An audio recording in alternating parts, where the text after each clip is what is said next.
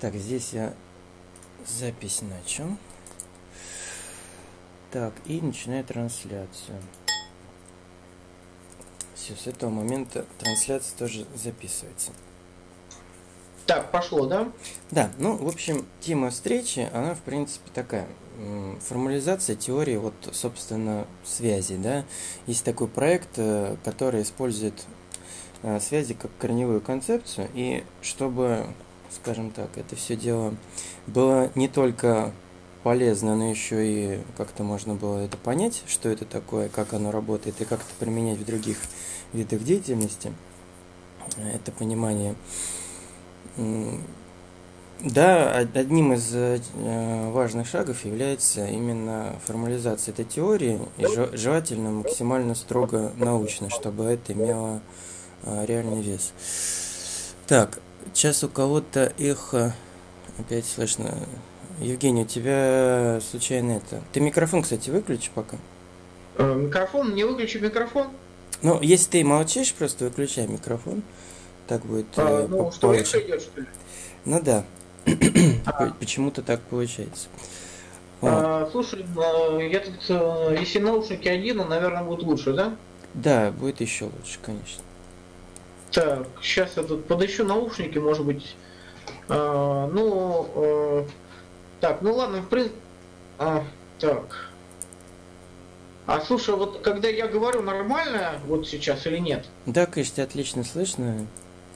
А, ну смотри, если никто другой не говорит, то никакого эха нету, правильно? Ну конечно, если один микрофон то, включен, то, то эха нет. Когда, а, я как э, я скажу, выключаю после того, как я сказал, я выключаю свой микрофон. И, и Нет, потом ты, ты, ты можешь, говорить, ты, ты, ты можешь да? не, не говорить, это видно. Если ты нажал кнопку выключить микрофон, у тебя появляется иконка, что он у тебя выключен. То есть, э, ну. Ага. Ну, тогда просто будем последовательно сейчас, чтобы не заморачиваться. Э, просто я когда скажу, тогда выключаю. Вот. Э, тогда давай так, что э, я буду говорить дальше по теме, вот. А, а сейчас просто выключаю микрофон и жду команды. Угу. Так.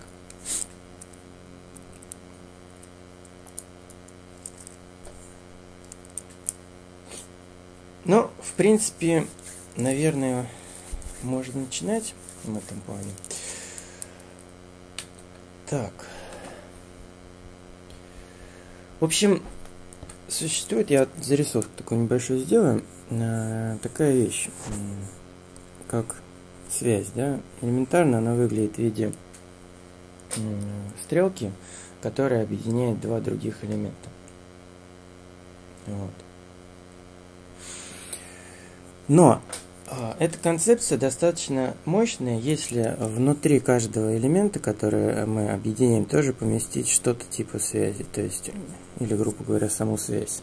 То есть, иными словами, рекурсивно описывать все, что угодно через одну единственную структуру, через связи. Вот. Но так как эта идея, она в принципе, конечно, не нова, и она очень глубоко пересекается почти со всеми Э, научными трудами, которые, с которыми я когда-либо сталкивался, думаю, пора сделать некоторые шаги по тому, чтобы это все дело а, глубже взаимосвязать с тем, э, с чем это реально связано. Ну, то есть, иными словами, э, сказать, что есть отсылки к такой-то теории, такой-то научной теории, к такой-то и так далее. И э, есть какие-то общие моменты, которые можно использовать в общей структуре. Вот. Ну, пока, наверное, все. Я вот предлагаю тогда, Евгений, сказать, что ты по этому поводу думаешь. И ты говоришь, что у тебя много накопилось наработок и идей, материалов как раз по этому поводу. Да, я сейчас э, расскажу о таких очень самых ярких параллелях э, с существующими теориями. Могу начать. Ну давай, я как раз. Начинать, да? Да, как раз буду записывать. А, секунду. Так, ну вот. А, да. Значит, теория категорий существует. А, это наиболее яркая параллель. Сейчас я примерно. Теория категорий, да? Да, сейчас я объясню примерно, а, как, из чего она состоит, эта теория категорий. Значит, она состоит из таких элементов, как объекты, морфизмы э, и э, определенный оператор композиции. Э, значит, сейчас э, объясню, что вот, вот это объекты А, Б, С, Д, обозначающиеся точками. Ну, ну здесь в кружках, буквы в кружках обозначены. Угу. Значит, э, вот эта рамочка, в которой они объединены, видно, да, все? Да. А видно курсор, да? Да, все видно. Так, значит, э, рамочка С. С это категория. Значит, э, объекты принадлежат С, то есть категория. Дальше, э, стрелки между объектами это. Морфизм обозначается э, над стрелочкой.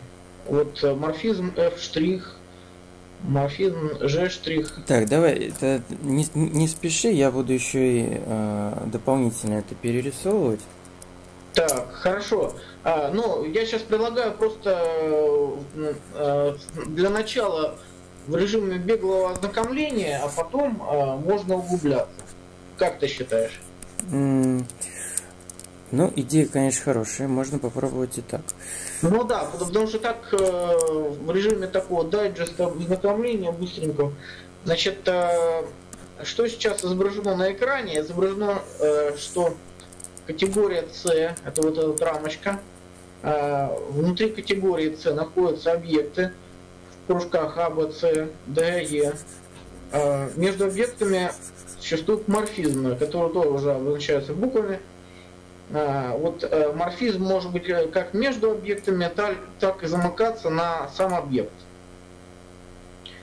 Если морфизм замыкается на самого себя, э, это называется морфизм ID. Значит, вот здесь написано А и Б Objects of C. Of C это значит категория C. А, значит, ладно, дальше. А, ну, крупный план. Вот э, объект А, объект Б, объект С. Морфизм между А и С. Это композиция морфизмов э, F и G. Ну, здесь уже начинаются вопросы, потому что я, если честно, уже запутался. Вот как, как допустим, Э, вот этот кружочек, например, да, он уже какую-то непонятную вещь для меня. Нет, ну выглядит. ладно, давай, давай поступим так, что э, мы будем говорить о понятных вещах, а непонятных, а непонятные вещи оставим на потом. Ну а хорошо, то есть ты говоришь, а, а потом, когда вопросы будут, мы еще раз можем это детально разобрать, правильно? Я предлагаю подчеркивать наиболее удачные параллели а непонятные вещи отложить на потом, а, чтобы разобраться. Угу. Тогда будет гораздо проще. Хорошо. Вот. А, так. Значит, э, ну, сейчас я просто покажу там некоторые картинки. А, значит, здесь э, просто композиция стрелок происходит. Значит, э, есть всевозможные диаграммы в результате композиции цел, которые возникают А, ну, просто я сейчас так пробегусь. Э, значит, ну ладно, это уже э, слишком сильное углубление. Теперь далее. Значит, э, есть так называемая автоморфная функция. Так. Сейчас я расскажу, что такое автоморфная функция. На Википедии есть статья, которая называется автоморфная функция. А, значит, э, функция f аналитическая в некоторой области. Аналитическая это значит, что мы можем, ну, начиная изучать функцию, а, анализировать, как она пойдет дальше. Ну, это так, э, очень сильно своими словами я сказал. Можно все это почитать, что такое аналитическая функция. Uh-huh. Автоморфная функция это такая аналитическая функция, э, значит, которая э, удовлетворяет значит, f, значит, g а, то есть это функция f, функция g и аргумент z равен fz. А, тебя не напоминает y-комбинатор, йода-комбинатор? Ну, если честно, я уже подзабыл, а, как он вообще получается и, грубо говоря, что он такое есть. Я бы все это освежил еще раз в памяти. Вот сейчас как раз мы пробежимся, потом вернемся, и каждый а... элемент я предлагаю по шагам разобрать и нарисовать это. Так, значит, э, есть общее, общее между с Y-комбинатором, не, не общее, различное. Так. Общее то, что эта функция, она а, а, имеет определенную рекурсию такую, что мы э, в результате исполнения функции э, получаем саму функцию. Значит, а отличие в том, что эта функция аналитическая. То есть общее, общее в том, что есть некий элемент рекурсии в этой функции, как и в Y-комбинаторе. Это общее. А разли... разное отличие это то, что функция, автоморфная функция, она аналитическая функция. А что значит аналитическая функция? Мы не можем ее а, коротко замкнуть а, на саму себя. То есть Y-комбинатор можно замкнуть очень коротко, а, а автоморфная функция ее коротко не замкнешь, она ну, э, э, в таком, можно как вот себе представить, что она имеет вот именно вот э, такую закругленность, вот как э, вот у тебя диаграммы Linux, угу. они круглые у тебя. Ну да. Ну, то есть, если бы использовался Y-комбинатор, например, йота-комбинатор, то там не было вот этих бы круглых сфер. А, йота-комбинатор он сразу бы замыкал как можно короче. Ну, скажем так, у меня вот этот круг, да, он, э, ну, то есть, э, он не обязательно, то есть, просто для того, чтобы показать рекурсию, что каждый круг большой является таким же кругом маленьким, да. Ну, а... понятно, я тебе просто сейчас э, говорю явно прослеживающиеся параллели, угу. с моей точки зрения, значит, э, а дальнейший развернутый анализ можно произвести потом. То есть я тебе сейчас, ну, э, ты потом можешь показать, значит, э, ну, примерно про автоморфную функцию понятно, да? Да. Так, ладно, значит, дальше. Э, вот диаграмма вот эта вот. Сейчас я покажу в увеличенном виде. Значит, это просто классификация. На самом деле, вот эта классификация – а, классификация морфизмов. Значит, вот здесь вот в центре а, а, три буквы out. Это автоморфизм. То есть автоморфизм, который замыкается. Ну, автоморфная функция автоморфизм. А... Так, так, так, так. И... А что значит замыкается? То а, есть а, ну, ну, смотри, значит, сейчас я тебе объясню, что значит. Вот э, видишь, здесь э, есть функция f и функция g. А, две функции, где, э, значит, у нас получается в итоге fz. Значит, а, я, я сейчас объясню, значит, про автоморфизм сейчас. Это была автоморфная функция. У них есть общее в том, что слово авто встречается и там, и там. Ну, то есть это ссылка на себя, да, по сути? Что? Э, авто это означает ссылка на самого себя. Да, да. Авто это некий элемент, такой рекурсивный элемент. Вот. Сейчас расскажу про автоморфизм. Автоморфизм это а, морфизм, который... Вот сейчас я э, наберу.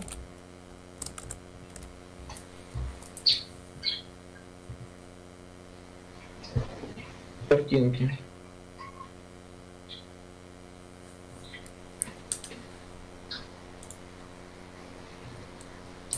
Лучше на Википедию зайти.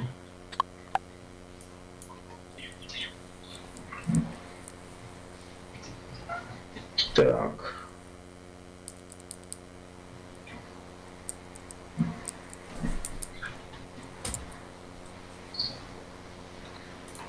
Так, посмотрим.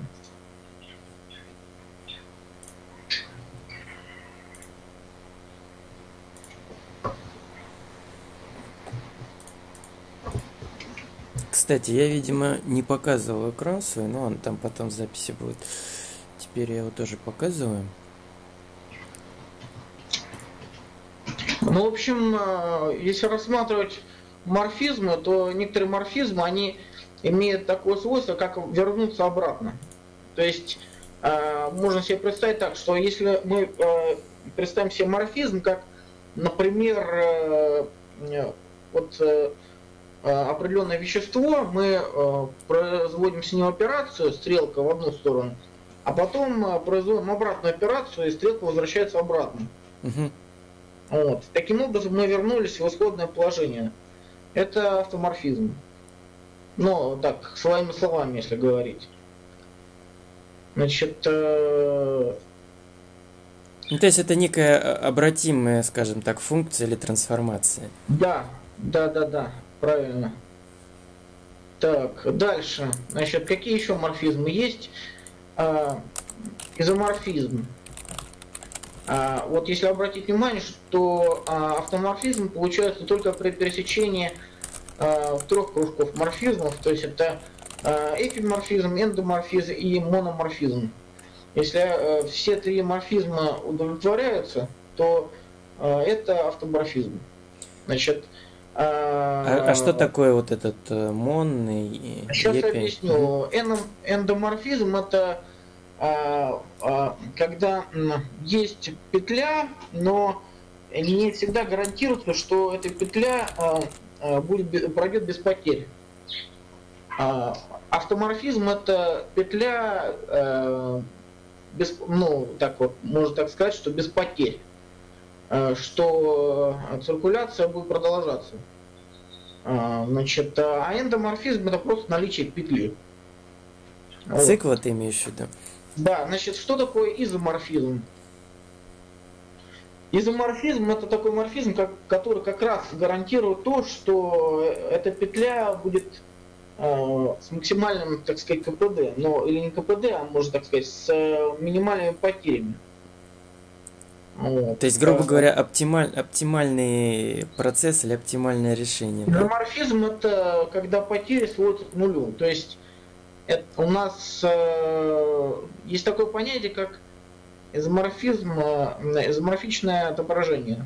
То есть, э, когда мы можем э, одно множество сопо, э, другому. Сейчас вот я э, наберу в поисковике.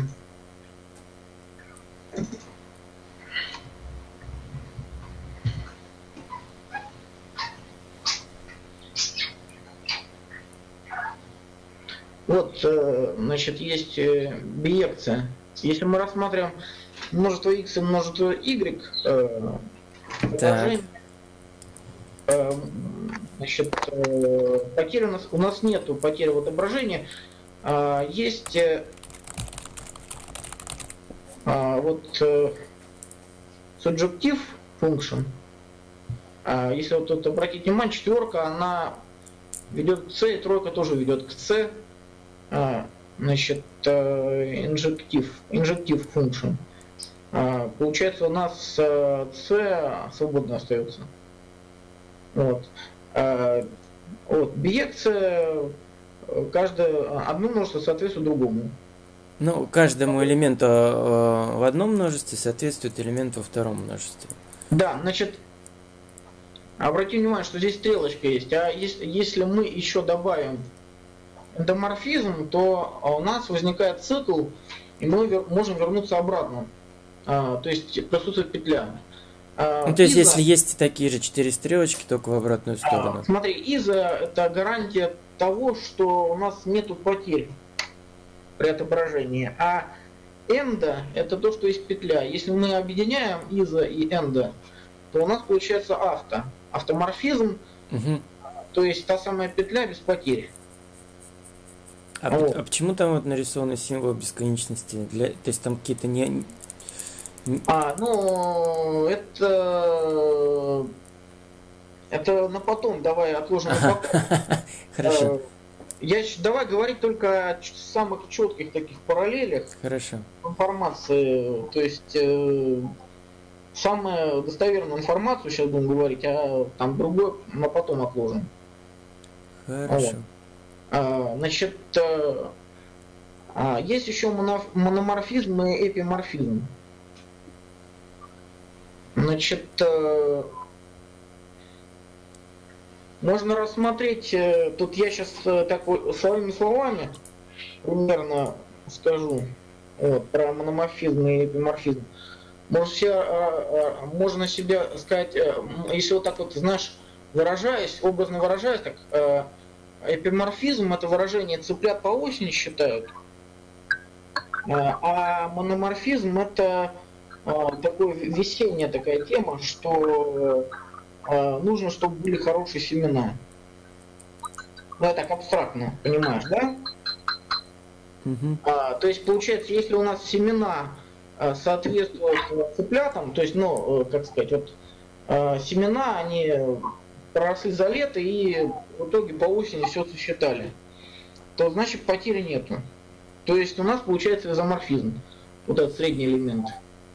Так. Вот. А если эндоморфизм, это значит, что у нас а, годичный цикл замыкается, и мы продолжаем, у нас продолжается производство, например, а, там, например, продуктов, выращивания, например, каждый год.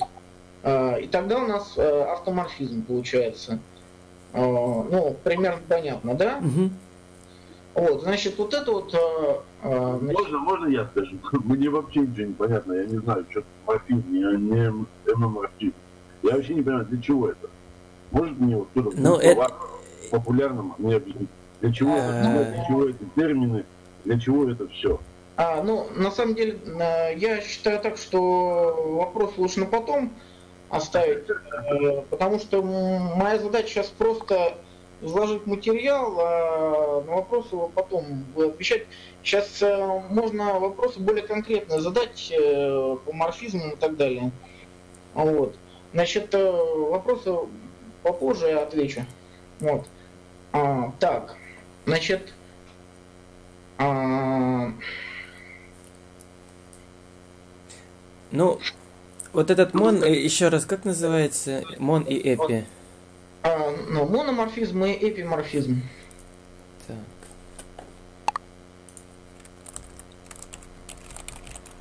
Там, кстати, я сейчас еще а, вот а, называется correlation management, вот как называется, вот я видел еще ролик у тебя. Проекте Correlation Center. Ну это идея. Correlation Center, да. Вот я сейчас Э, могу ответить, э, более прояснить ситуацию с помощью Correlation Center. Вот э, есть вот стрелочки такие корреляционные, Correlation Center.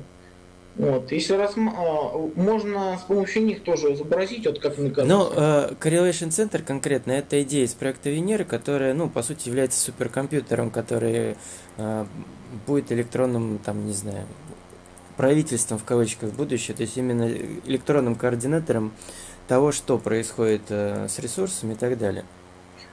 А, ну, в общем, э, я считаю, что Correlation Center, вот ПО Correlation Center можно использовать также для иллюстрации морфизмов. Вот. А, потому что я вот видел какие демонстрационные ролики. Ну ладно, в общем... Ну, морфизмы, если коротко, э, это всего лишь трансформация. То есть э, Correlation Center рассматривает в основном трансформацию ресурсов. Однако в программировании э, очень часто рассматривается трансформация информации. Но, но вот давай сейчас рассмотрим с точки зрения, например, трансформации ресурсов и Correlation Center, для того, чтобы было более ясно. Вот, э, вот есть у нас три морфизма. Мономорфизм, эпиморфизм и эндоморфизм. А, значит, э, в Correlation Center э, появились, например, там сырье, исходные материалы, э, семена и так далее, какое-то оборудование и так далее. Вот. Угу. Значит, э, это у нас э, ближе к мономорфизму, значит, эпиморфизм, что поставлены такие-то цели, что ну, девиз такой, цыплят по осени считают, то есть нужно достичь определенных результатов, то есть получить э, цыплят, например. Вы, выполнить определенный заказ населения. Да, значит, э, соответственно, если у нас полученные ресурсы э, пройдут должным образом и достигнут цели, то есть цыплята будут посчитаны, то значит у нас изоморфизм удовлетворяется. То есть у нас нет, нет потерь. Ну, грубо говоря, все цели, которые мы себе поставили в начале года, да, они были реализованы. Да, значит, э, с эндоморфизм. Эндоморфизм это значит, что у нас присутствует э, петля, и если эта петля, она удовлетворяет э, и мономорфизм и эпиморфизм, то есть о чем мы сейчас говорили, то у нас получается автоморфизм. То есть можно сказать, что автоморфизм начинает свое дело и э, ресурсы... Ну, когда, когда есть регулярность из года в год. То есть это получается такой круговорот. Это угу. такой круговорот, в котором э, нету потерь, то есть круговорот, который, э, в котором ресурсы, они работают именно внутри и трансформируются, и при этом никуда не теряются. Значит, если рассмотреть такой вариант, что вот Э, в этом круговороте э, произошла пробоина. Э, какие-то ресурсы стали теряться, куда-то уходить. Тогда мы приходим к эпиморфизму, да? То есть да, потерями. значит, у нас где-то присутствует нарушение или в эпиморфизме, или в мономорфизме, или в эндоморфизме. Значит, если у нас нарушение в эндоморфизме, то у нас осталось ограниченное количество циклов, например. Ну, кстати, э, цикл ресурсов, он невозможен без переработки. То есть, чтобы делать новые ресурсы, нужно сделать так, что все те ресурсы, которые не используются, они либо перерабатывались, либо повторно использовались. А, так, ну, в общем, э, ну, да. рассмотрим, э, рассмотрим нарушения. А, нарушение эндоморфизма – это э, то, что последующие циклы, например, становятся невозможными. Вот. А, значит, нарушение эпиморфизма – это не, недосчет. То есть цыплят не досчитались по какой-то причине, там э, хищники съели цыплят, например. Вот. А если у нас нарушение в мономорфизме, то какие-то семена, например, остались непригодны, какие-то материалы, например, непригодные, э, и в результате на начальном этапе не удалось достигнуть определенных целей. Вот. Соответственно, если никаких проблем нету, никаких пробоин нету, то э, циркуляция, вот получается такая достаточно абстрактная циркуляция, можно рассматривать ее как э, циркуляция ну, многих вещей. Вот если на correlation центр, да, рассматривать. Вот. А, значит, э, ну, я думаю, достаточно, теперь вполне да, понятно. Да. Вот, то есть вопросов, я думаю, нет сейчас уже, да? Э, то есть а, ну ладно, хорошо, отлично. Ну, в а, общем, идеальное состояние Correlation Center, по сути, он сам является, должен являться автоморфизмом. То есть, чтобы у нас была стабильная, грубо говоря, жизнь на планете Земля. Ну да. Но тут просто вот все вопросы, они как бы, э, все ответы, они такие достаточно абстрактные. То есть, конкретный вопрос, они вот э, лучше потом задавать, а вот на такие более абстрактное вот сейчас вот э, за счет Correlation Center э, удалось ответить. Угу. Вот. Не, ну это отлично, потому что благодаря да. теории удается структурировать э, понимание. А, так, ну ладно, значит, э, теперь переходим дальше. Следующим пунктом. Так, значит, а, что такое модус понинус? Значит, Сейчас я сначала э, ознакомимся с символикой. А, есть логические символы. Значит, э, есть а, вот такой вот символ, называется turn steel, а, который обозначает а, proofs, то есть доказывает. А, можно как, что такое turn steel вообще? Как переводится слово на русский язык? Тернстил это такой проходной шлагбаум, например, на заводе. Ну, или, например, там а, контрольный пункт.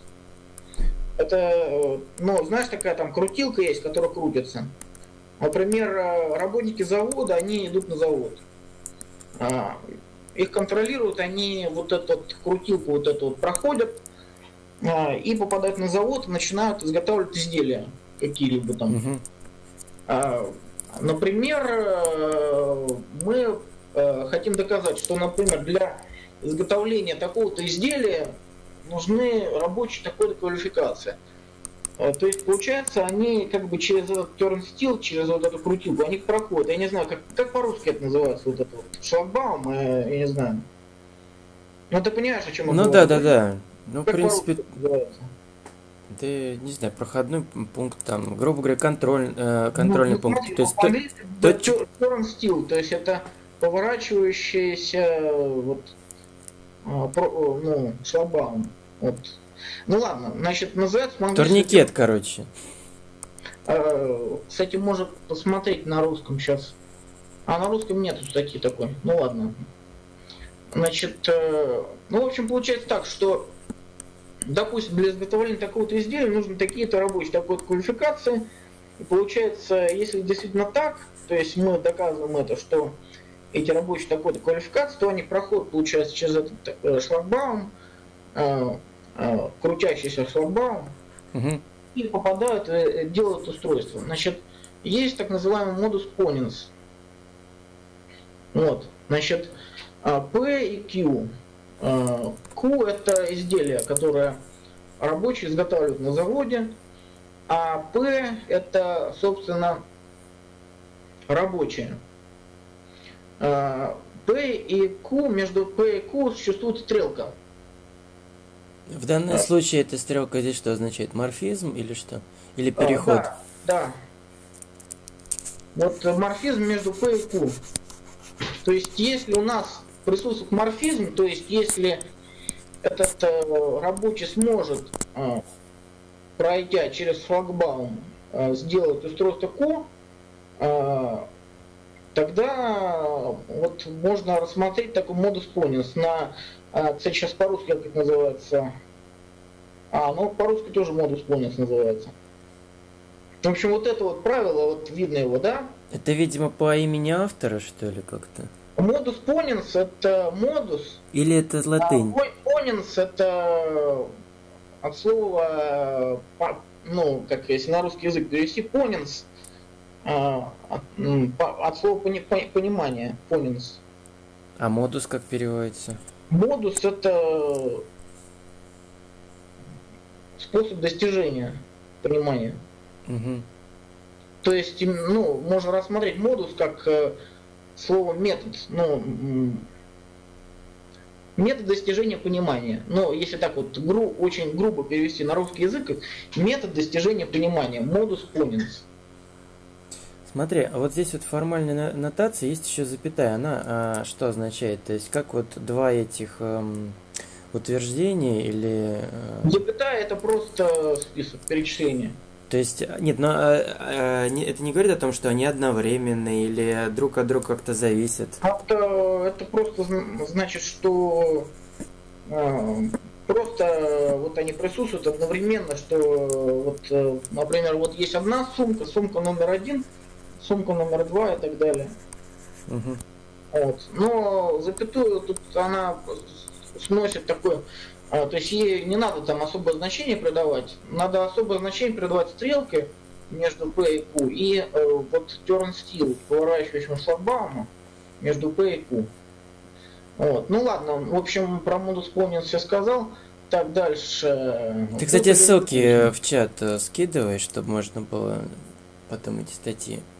Но посмотреть. я могу э, так, сейчас скинуть или потом? Ну как тебе удобно, либо в текстовый файлик просто скидывай, либо в чат Но сразу. я могу потом просто скинуть, если так проще будет. Хорошо, давай, так будет проще, да, главное, ладно, чтобы не потерялось. Put elimination.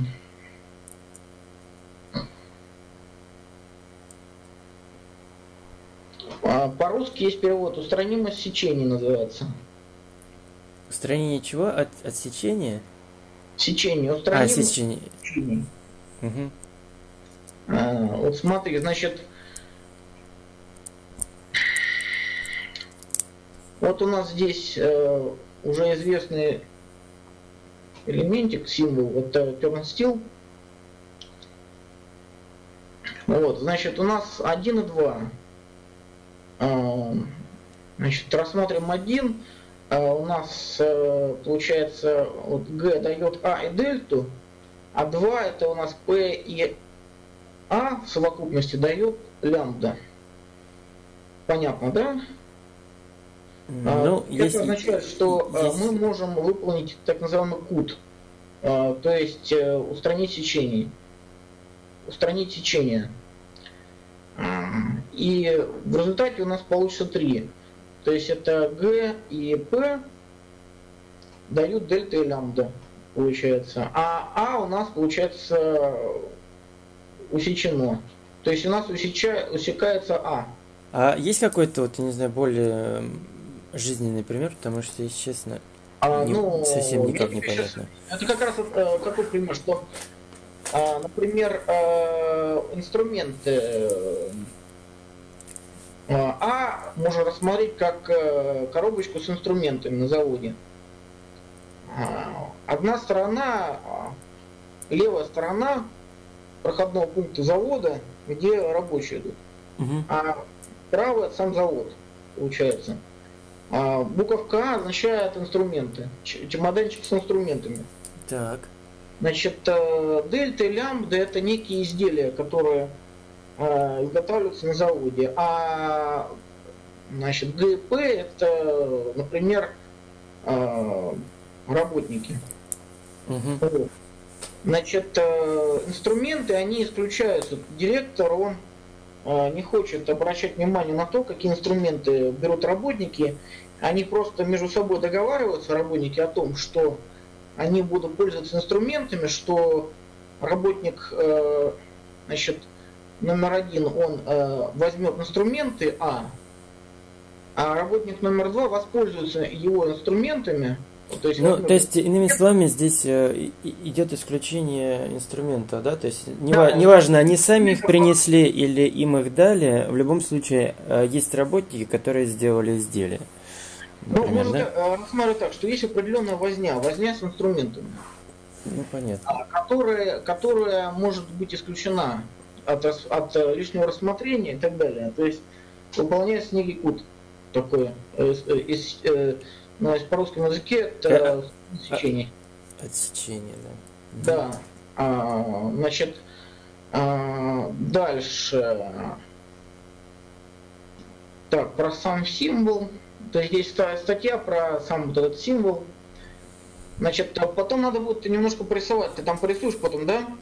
Ну, я уже рисую, то есть, э, ну, мы, мы потом можем еще детально с тобой это поделать. На самом деле э, есть еще э, вот этот вот тернстил, он может быть развернут в разные стороны. То есть он может э, быть развернут не только влево, вот проходной частью, но и в другую сторону, вправо, вверх и вниз. А что это будет означать? Сейчас я объясню. А, вот. Есть еще, кроме этого, еще есть двойной вариант. Эм,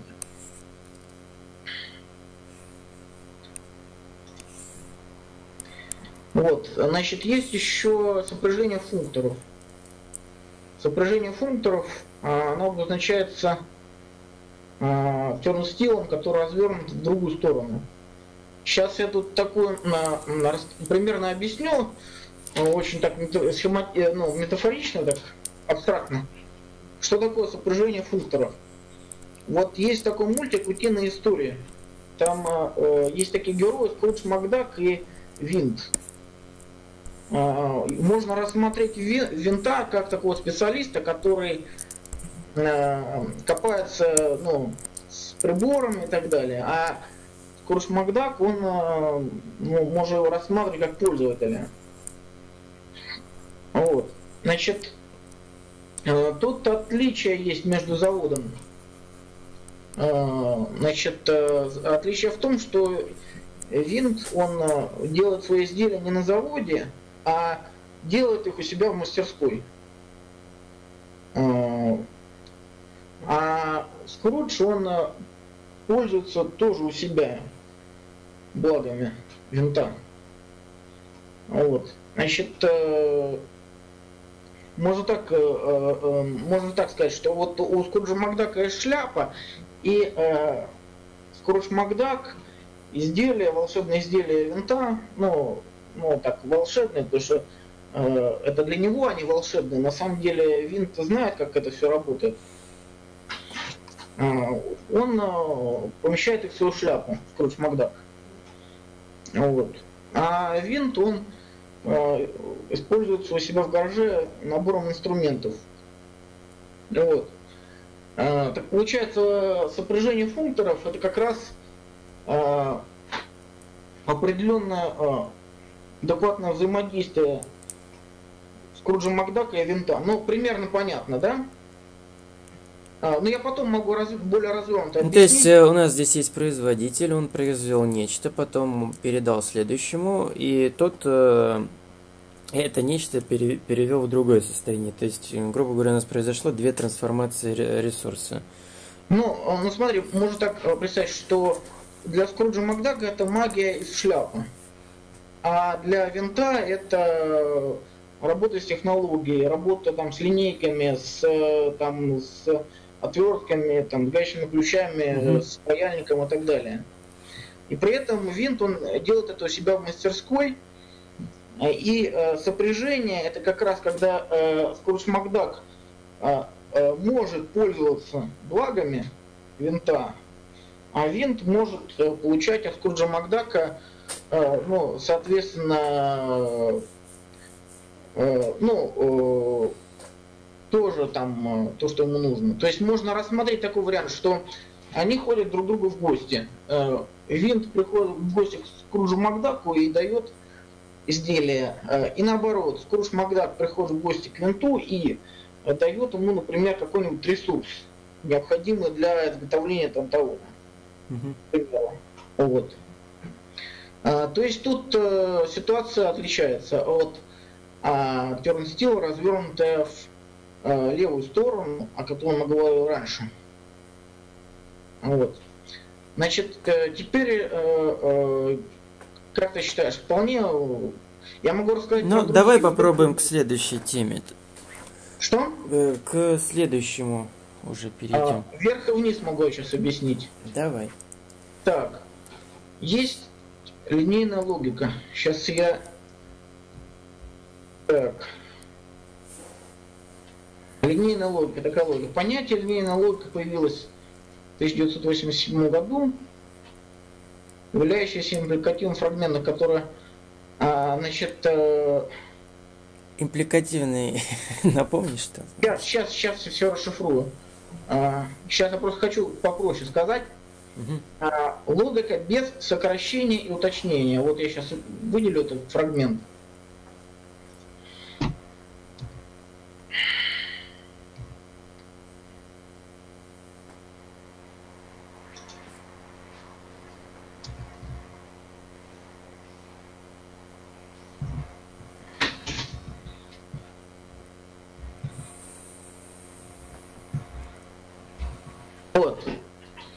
Видно, да? Так. Так, логику без сокращения и уточнения. То есть, если а, мы рассматриваем вариант горизонтальный, то там у нас есть некоторые упрощения и сокращения. А в одном случае у нас э, были сокращены инструменты, а в другом случае э, было исключено понимание, то есть для Скруджа Макдака. Подожди, уточнение, не, не упрощение. А, но смотри, логику без сокращения и уточнения. А, сокращение, а, мы рассматривали сокращение инструментов. А, назов... Так, это было. То есть э, инструменты, э, то есть они, э, внимание, то есть это они, на них не такое сильное внимание, больше внимания уделяется именно самим рабочим и их работе на заводе. Вот. Угу. А а уточнение рассматривается это как а, Скрудж Макдак, он, э, для него шляпа волшебная, то есть он, а, не, э, он не знает точно, из каких кирпичиков состоит а, те изделия, которые сделал винт. Угу. Также и винт, он э, не имеет уточнения, откуда Скрудж Макдак, например, взял вот этот ресурс, сырье, там, например, необходимый. Вот. Значит, а линейная логика, она э, не имеет сокращения уточнений, то есть она, э, э, она поэтому и называется линейной, что в ней нет сокращений и уточнений. Понятно, да? Угу. Это у нас вертикаль. То есть если рассмотрим горизонталь, где у нас присутствует сокращение уточнения, вертикаль там у нас все линейно. Вот. Сейчас я... Так, сейчас, сейчас, сейчас. Вот линейная логика. Есть... Э, э, а вертикаль имеется в виду и э, вот этот э, вверх и вниз, да? Вот видишь, я сейчас выделил угу. видно? Угу.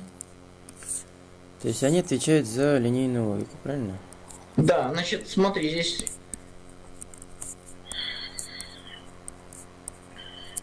То есть статья про линейную логику. То есть тут используются вот различные комбинации. Значит, э, можно рассмотреть оператор линейной логики, э, мультипликативная конъюнкция, ну а потом э, расшифрую это все, и мультипликативная дизъюнкция. Значит, не, ну это, скажем так, кто дискретную математику изучал, думаю, это тут уже небольшая а, но, мистика. Понимаешь, есть еще аддитивная, а это мультипликативная. То есть тут есть отличие. А, сейчас я объясню.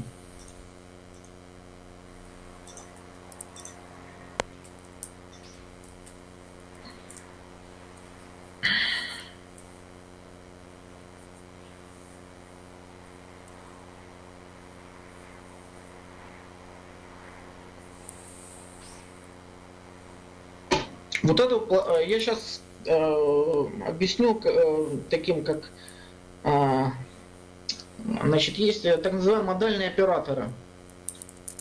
Сейчас э,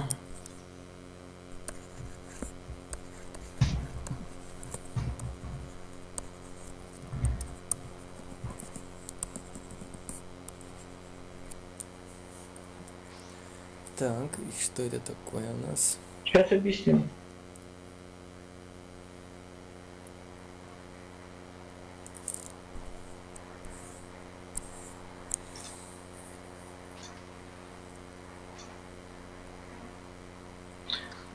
вот э, здесь они изображены как ромбик и квадратик.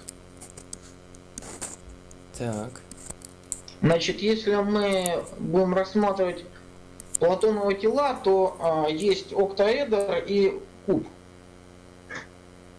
А, куб, он а, больше всего похож на квадратик, модельный оператор. А октаэдр на ромб. Угу. Сейчас я объясню, как работают модельные операторы.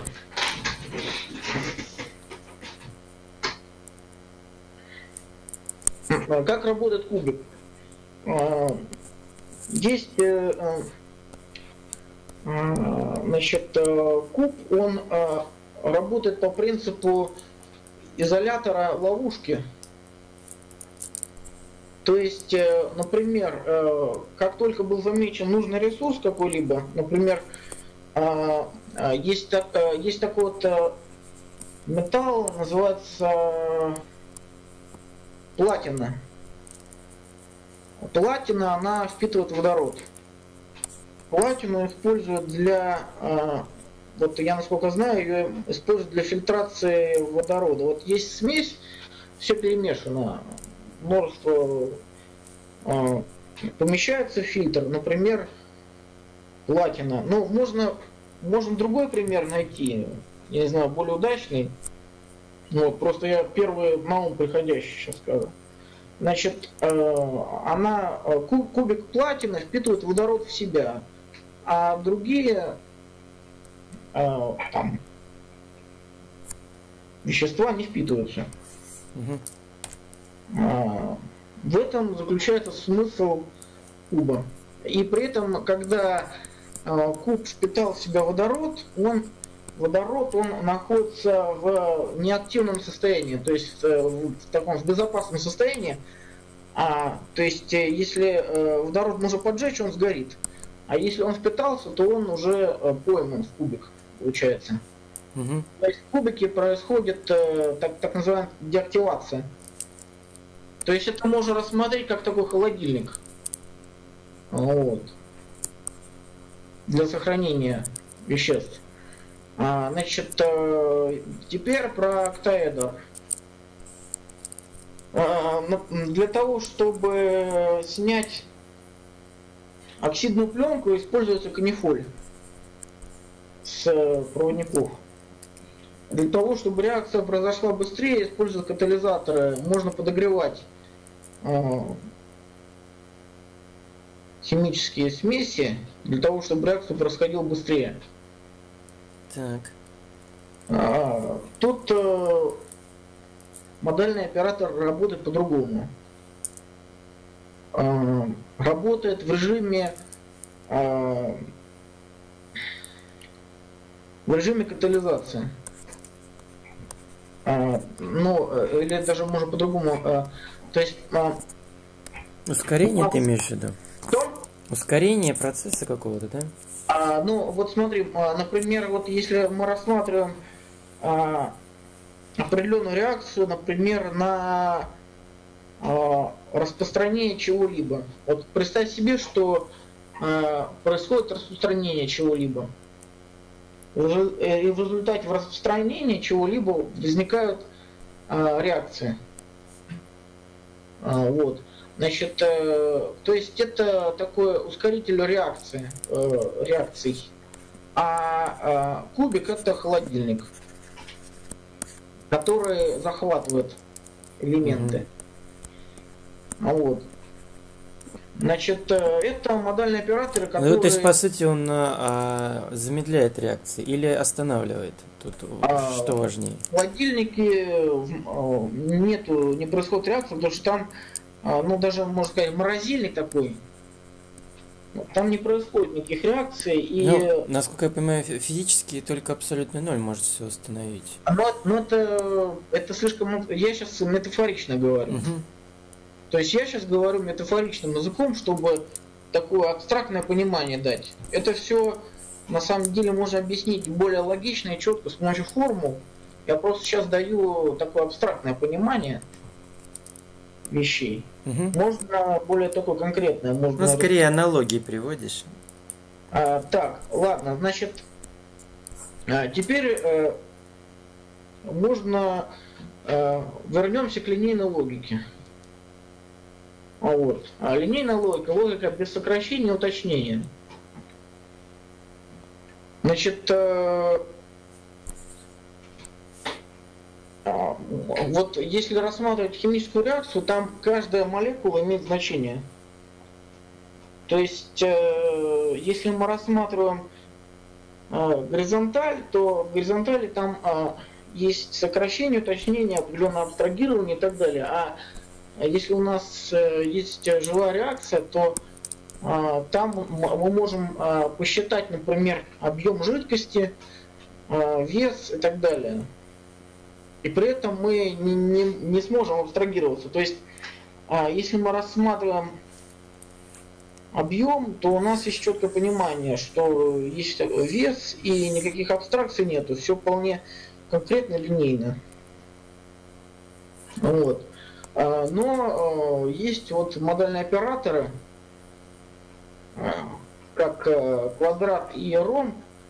Если мы в 3D рассматриваем, то это куб октаэдр – которые выполняют, так сказать, такую спасительную функцию для того, чтобы в результате э, все сохранилось. Куб, соответственно, сохраняет в морозильнике, а октаэдр он не дает, э, а октаэдр он дает реакции идти дальше. Ну, я, я так метафорично говорю. Значит, а если мы рассматриваем... А все-таки вот у нас были вот этот вот turnstile, который э, вверх и вниз. Э, да, сейчас, сейчас верну, вернемся к ним. А, буковка Т вверх, turnstile вверх. Это а, у нас связано вот э, есть... Так.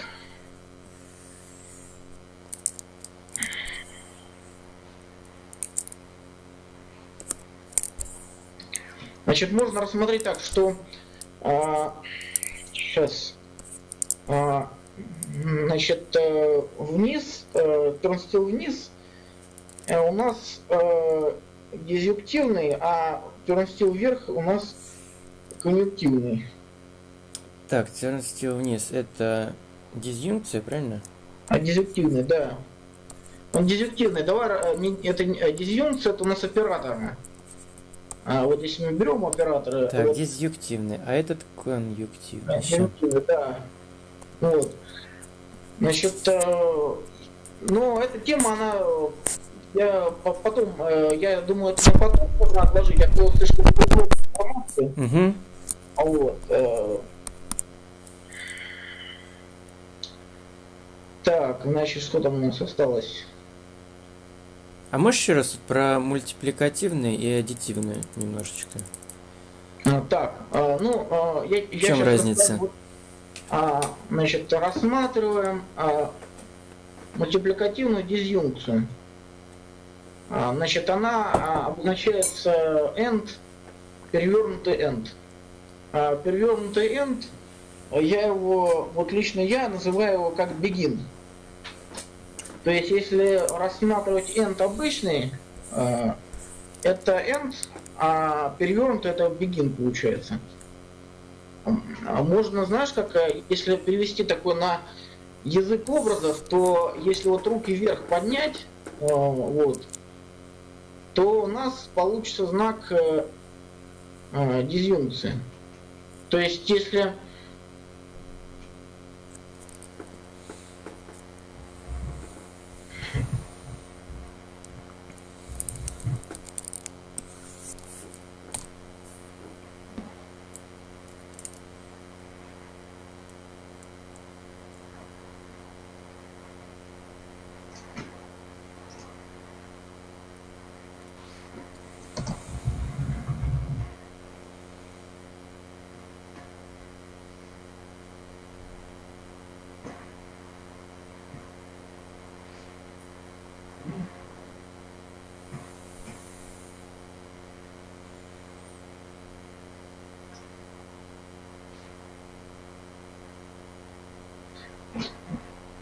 Так, вот э, видно, я тут выделил оператор мышкой. Угу, конечно. Это буковка V, то есть э, э, буковка V это руки вверх. Если вот поднять руки вверх, развести букву V, то у нас получится оператор дизъюнкции.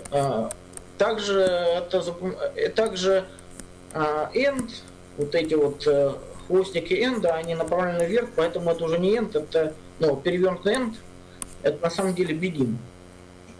Вот. А, но можно потом, потом можно, конечно, более, так, более красиво сказать. То есть э, вот, вот у этого бегена у него а, вот эти вот а, кончики, они идут вверх.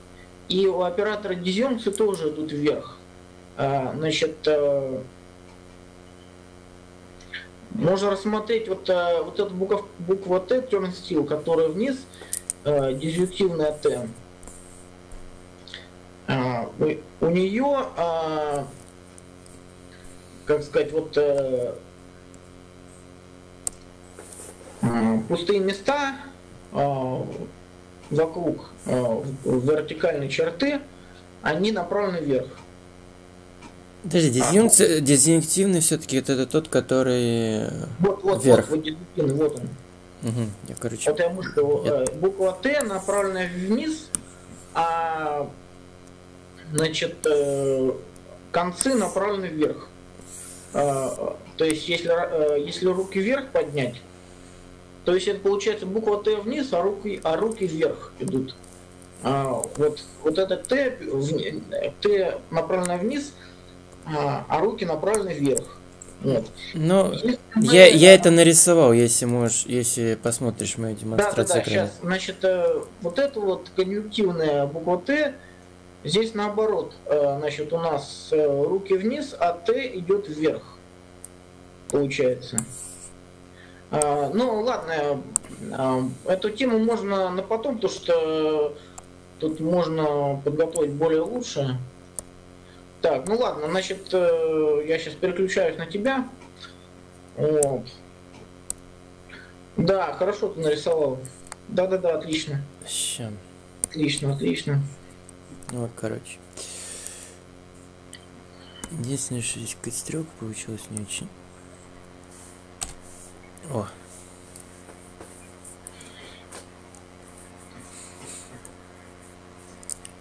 Так, ну... Ну, я думаю, тут э, нужно... Я для себя сделаю перерыв. Угу. Значит, может дальнейшие параллели с базой данных Linux э, находить, э, которые хорошо очень прослеживаются. Ты написал автоморфная функция, написал, да? Да. Я... А, вот, на, на изображение Linux. Да? Ну вот у меня автоморфная функция, вот вот здесь написано. Так. Но ты вот обозначь, что а, вот эта а, вот сфера, шар, в котором находятся стрелки, а, покажи вот на саму оболочку и напиши, что это автоморфная функция. Так, сейчас сделаем. Вот так вот, да? Ну да, да, да, да, да. Так, ну, в общем, а, получается у нас, что можно такое краткое подведение итогов без углубления сделать. В итоге у нас а, расположение в пространстве обрело осмысленность. У нас Т, тернстил. Так, ну, про тернстил это вот здесь. Да, тернстил здесь. имеет логическую интерпретацию во всех направлениях. Угу. Вот, значит, э, есть интерпретация оболочки links а, как автоморфной функции. А, есть э, интерпретация горизонталь и вертикаль за счет модальных операторов линейной логики и также работы а, с сопряжениями и с put elimination.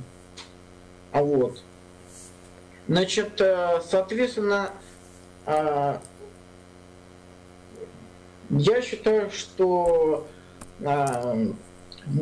это дает э, достаточно такое хорошее упрощение и оптимизацию понимания как на образном уровне, так и на других уровнях. В дальнейшем можно поработать и довести еще до более четкого понимания. Вот. Э, и также понимание стрелок как теории категории в виде морфизмов различных типов.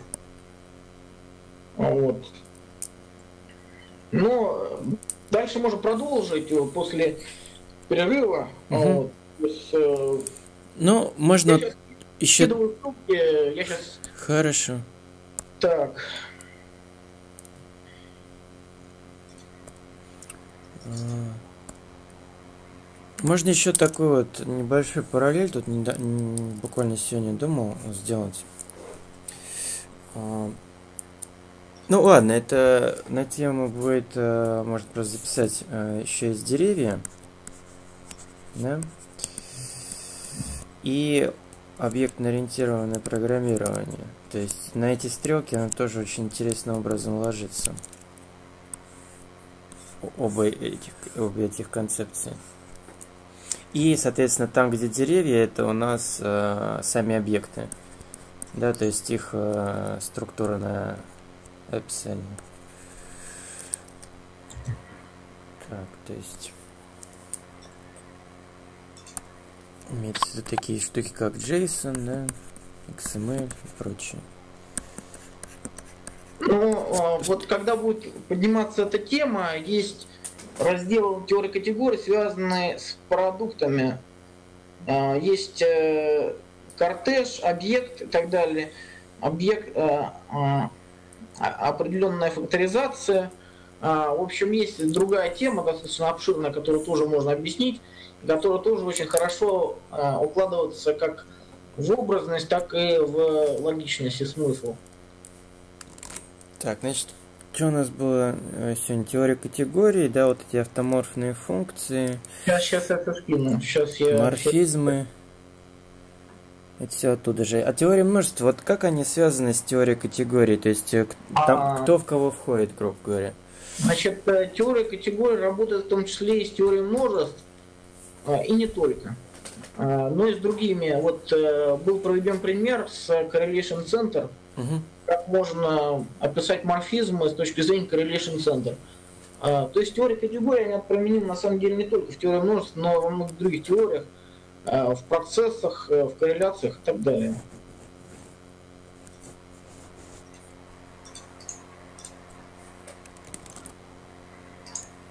Ну, корреляция это и есть, по сути, взаимоотношения, связь. То есть это все, грубо говоря, огромное количество синонимов для, по сути, одной единственной вещи, которая многократно, скажем так, фрактализируясь, да, потому что, по сути, это, это рекурсия, это же фрактал, а, она и, грубо говоря, ну, создает вот эту ткань реальности, информации. Я еще про фракталы. Здесь отдельная тема, могу отдельно рассказать потом. Значит, есть э, а, фрактал коллапса. Вот э, популярно известный фрактал Мандельброта есть, фрактал Жулья, есть э, еще фрактал коллапса. Значит, фрактал коллапса, его можно вычислить на бумаге. Фрактал коллапса это самый простой вычисляемый фрактал – Э, и э, формула у него очень простая. В общем, э, фрактал коллапса, он очень для демонстрационных целей хорошо подходит, но я потом объясню это. Угу. Ну, это можно отдельной тему уже делать. Слушай, ну, ты, да. ты знаешь, скини еще в скайп вот те ссылки, которые ты мне сказал, потому что из я этого сейчас, чата почему-то скопировать не могу. Я продублирую тебе. Угу.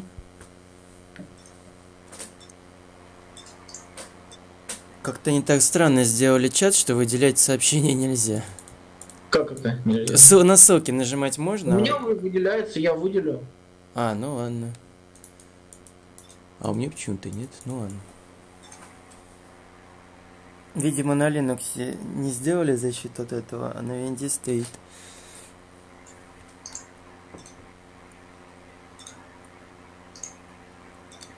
Ну что, тогда все, я предлагаю пока заканчивать. Ну, если ты закроешь, сейчас ссылки пропадут, давай сейчас... Э, не, я просто выключаю трансляцию, а, я нажимаю кнопочку «Завершить», но а, сама видеовстреча не, не закроется.